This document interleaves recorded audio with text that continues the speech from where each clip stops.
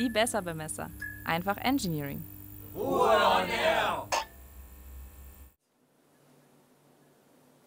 Hallo, heute erklären wir euch den Unterschied zwischen Dübeltheorie und Reber-Theorie. Michael, leg los. Gerne.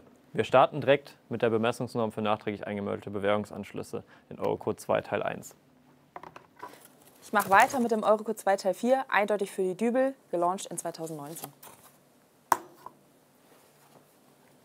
Welche Lasten können wir denn mit einem Bewährungsstab übertragen? Das sind leider reine Zuglasten, die wir äh, mit der Theorie nach Eurocode 2 Teil 1 übertragen können. Beim Dübel etwas anders. Hier können wir halt Zug- und Querkräfte übertragen. Das heißt, ein bisschen andere Vorgehensweise. Wie sieht der Lastabtrag beim Reber-Anschluss aus? Ähm, wir verhindern das spröde Versagen und ähm, können deshalb auch nur die Zugkräfte übertragen.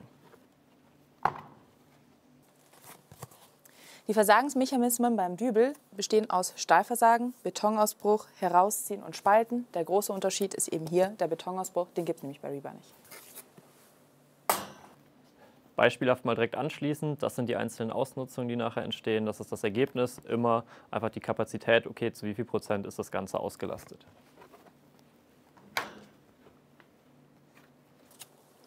Bei der Dübeltheorie sind wir letztendlich auf 20 mal d, also die Einbindetiefe auf 20 mal d, beschränkt. Tiefer können wir nun wirklich nicht gehen, obwohl der Beton einfach nicht aktiviert werden kann. Wir hatten eben die einzelnen Versagensarten bei der Dübeltechnik, jetzt bei Rebar. Ähm, hier geht es hauptsächlich ums Stahlversagen und das Herausziehen oder das Spalten. Die kompletten Betonausbruchsnachweise fehlen hier natürlich.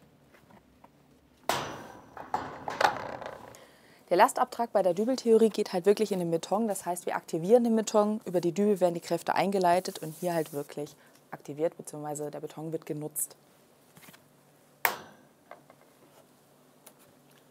Wie sieht es aus mit den Randabständen bzw. mit der Betonüberdeckung? Das ist ganz klar im Eurocode 2 Teil 1 geregelt und für alle nachträgigen Bewährungsanschlüsse identisch.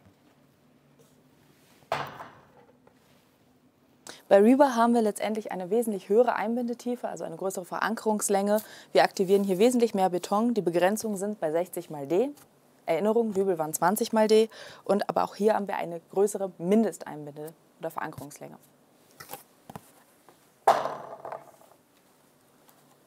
Anders als bei Rebar ist bei den Dübeln je nach Dübel der Randabstand in der ETA geregelt, also nicht überall gleich.